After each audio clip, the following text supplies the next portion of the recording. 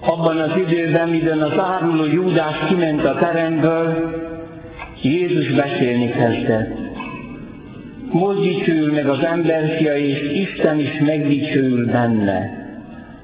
Ha Isten megdicsőül benne, Isten is megdicsőíti őt saját magában, sőt hamarosan megdicsőíti. Fiacskáim, mások, rövid ideig vagyok veletek. Új parancsot adok nektek, szeressétek egymást, amint én szerettelek titeket, úgy szeressétek ti is egymást. Arról tudják majd meg, hogy tanítványaim vagytok, hogy szeretettel vagytok egymás iránt. Ezek az evangélium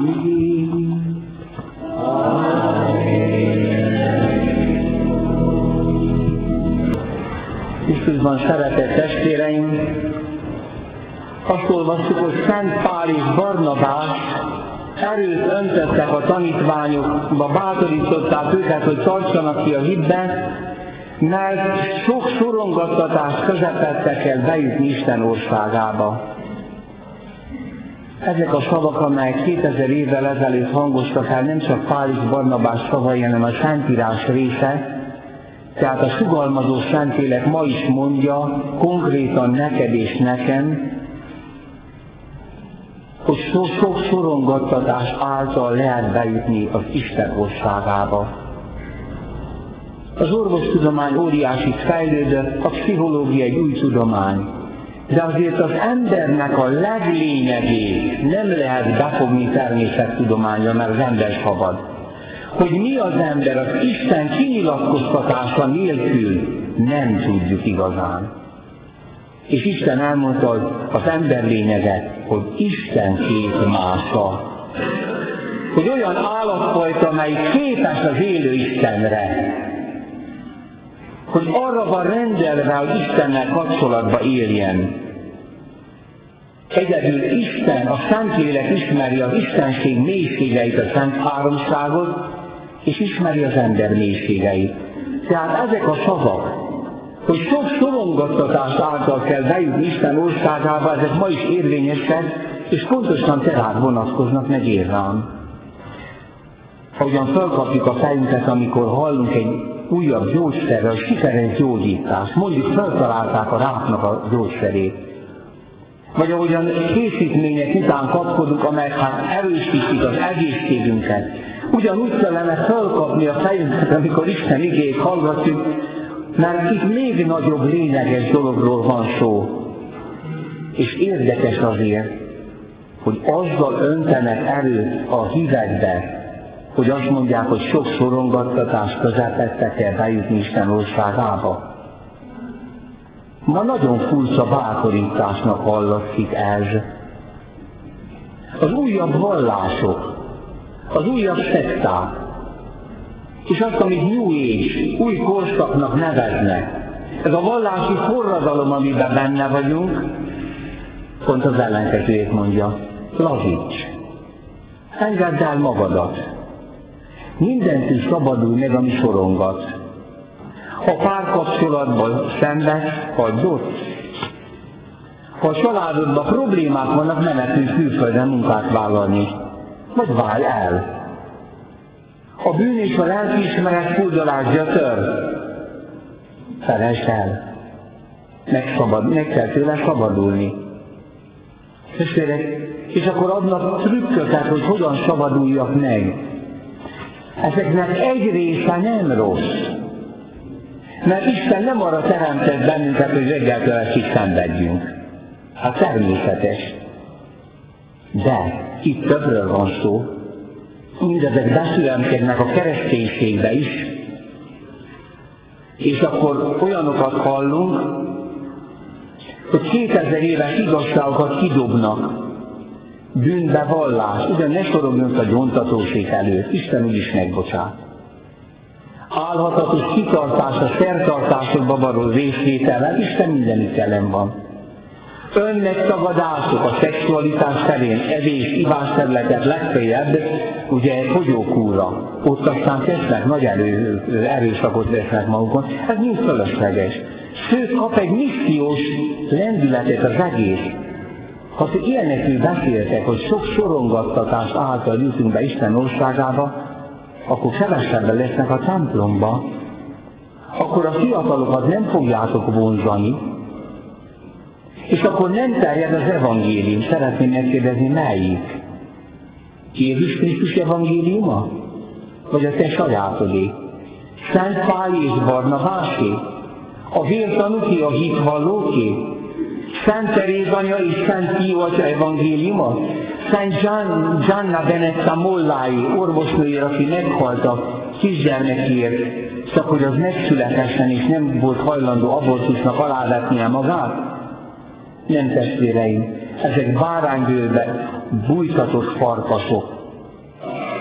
Egy bizonyos gyülekezet, hála Istennek, hogy nem egyháznak nevezi magát, egy bizonyos téren ordítozott, hangosítás, stb. Add át az életedet Jézusnak, és minden oké lesz. Rendben jönnek a gazdasági dolgai, pénzügyei. Bízzál Jézusban. A családod élete meg fog újulni.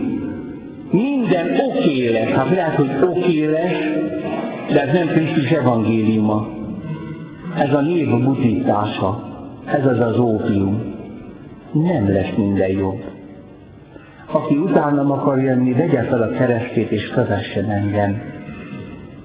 De hát akkor nem elég a mindennapi sorongattatás. Az, hogy bizony bajok vannak a családban, rokonságban. Az, hogy nincs munkája fiamnak, unokámnak.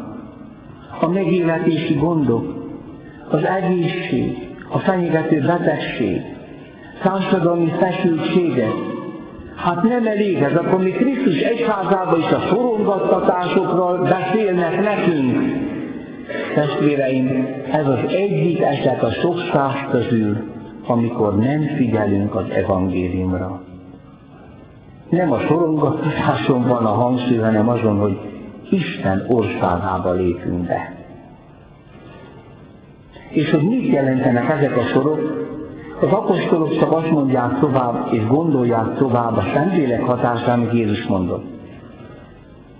Amikor egyszer egy egyetemi tanár elment Jézushoz éljen, a főtanács tagja Nikodémus, Isten országáról kérdezte, és azt mondja, újjá kell születned.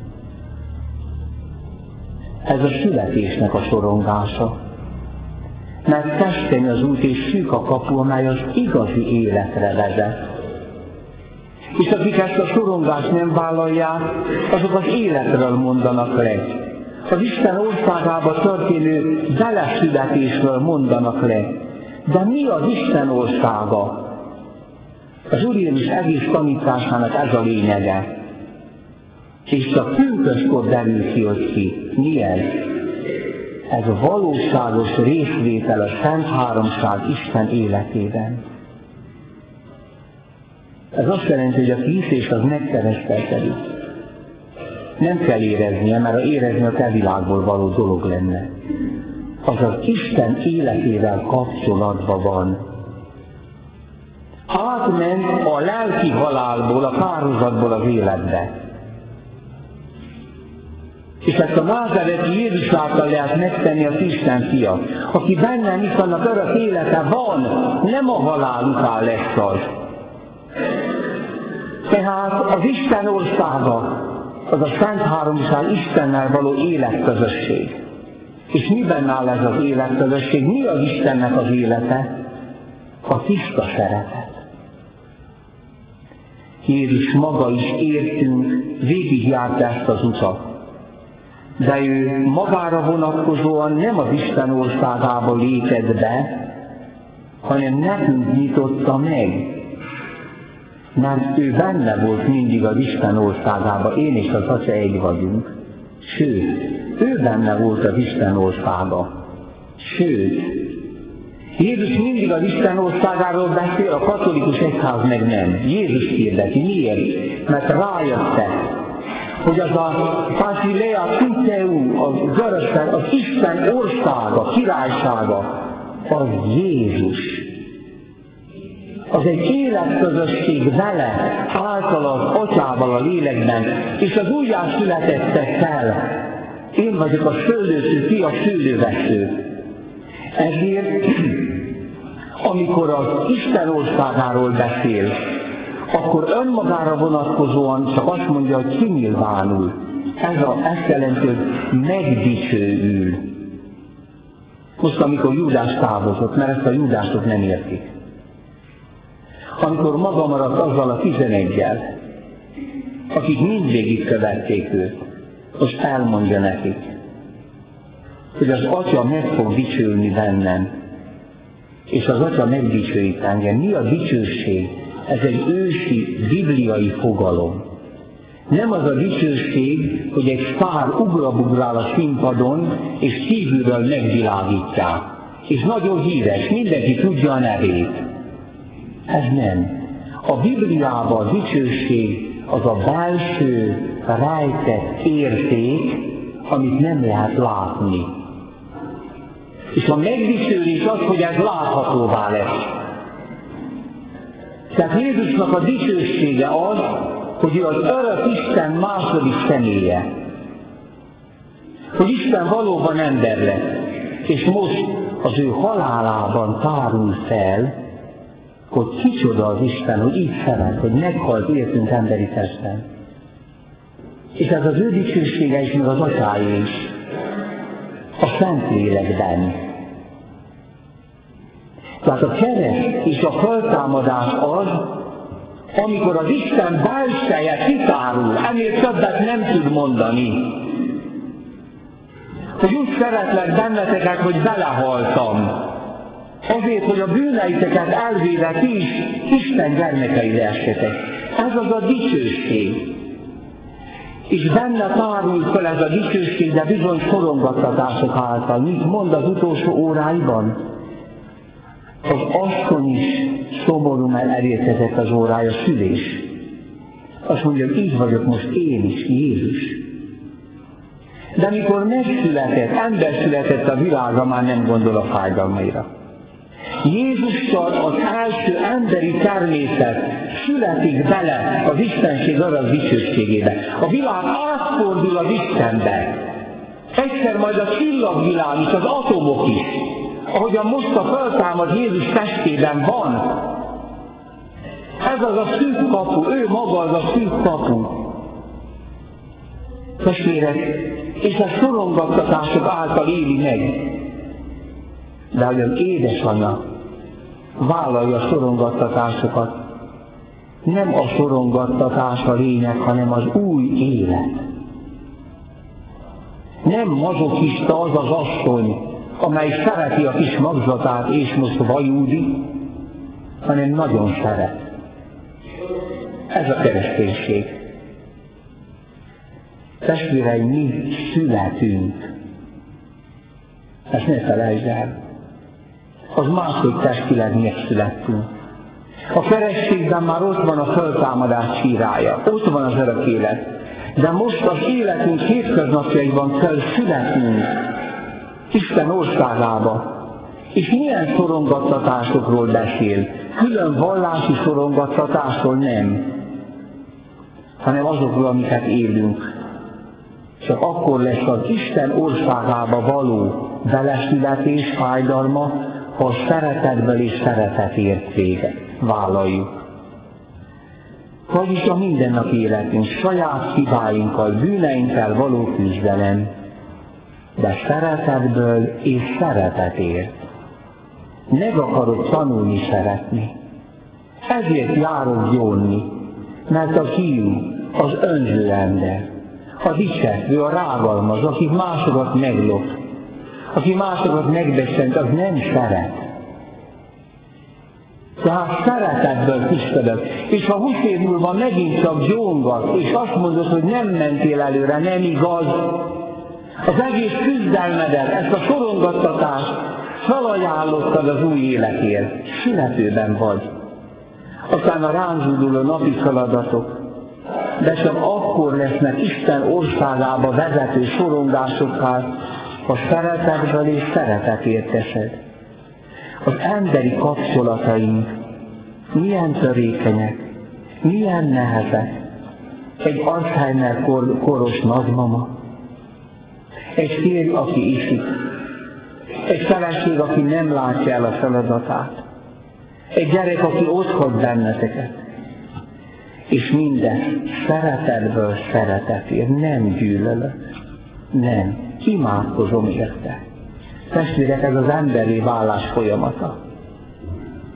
Aztán a gyengeségeink, az öregedés, a betegségeknek a hordozása.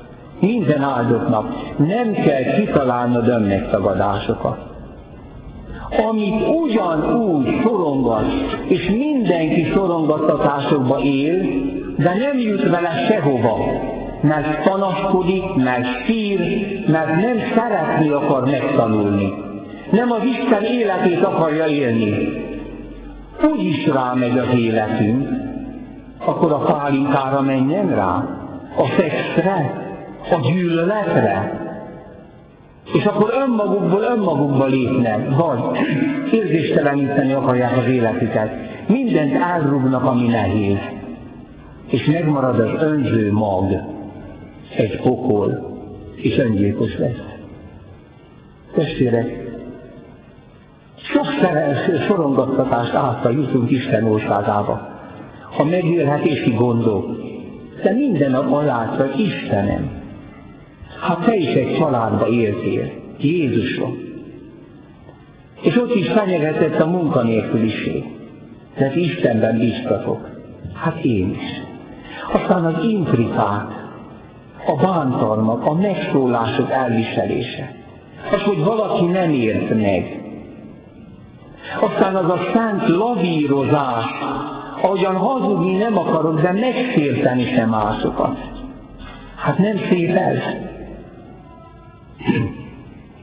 Aztán, ahogyan kivárom az alkalmakat, hogy kimondjak egy szót, ahogyan elengedek embereket szeretetből és szeretetért.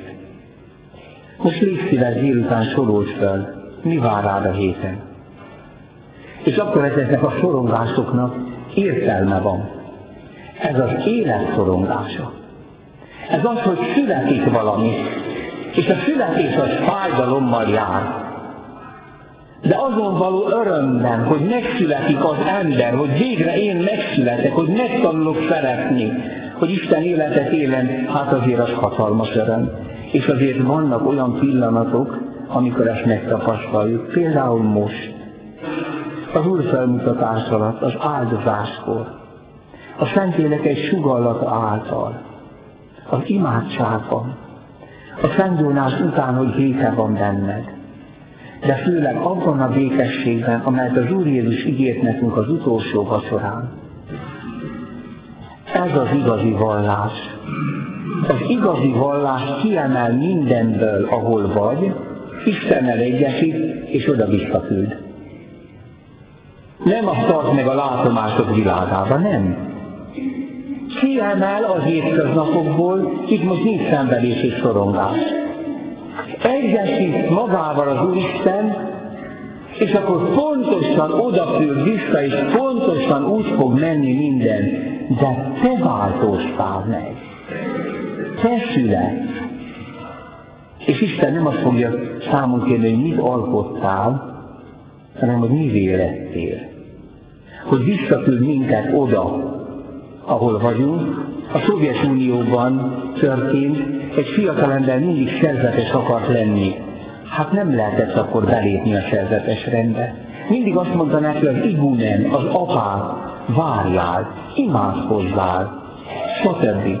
Felszabadult Szovjetunió a kommunista nyomás alól, visszaállt a bazilita rend, elment a lelke, hogy szülei meg megöregedtek, testvérei kimentek, egyedül maradt a szüleivel. És most elment, hogy atyám, most már meg is érett bennem az állatázás, mert is bizonytalan voltam be akarok lépni a szerzetes rendbe, jó? Akkor beléptél. Mától kezdve szerzetes vagy. De most visszamész és ápolod apádat és anyádat, mert senki sincs. Nincs beöltöztetés. Ez a szentség. Nem az, hogy egy belépek valahova, változtatok csak ruhát, hanem aki valóban Istennel találkozott, az vissza lesz küldve oda, ahol én eljött. Így öntött ma Pál is, Barnabás is általuk a Szentlélek erőt az én lelkembe és a ti lelketekbe, bátorított engem és bátorít titeket a kitartásban, a hitben. Az üzenet lényege nem a sorongattatás, hanem a szeretetből vállalt, szeretetért vállalt, életért vállalt, a több életért vállalt, kicsi szenvedés, amelyről azt mondja Szent Pál, hogy véleményem szerint nem mérhető az eljövendő dicsőséghez, amely megnyilvánul rajtunk. Amen.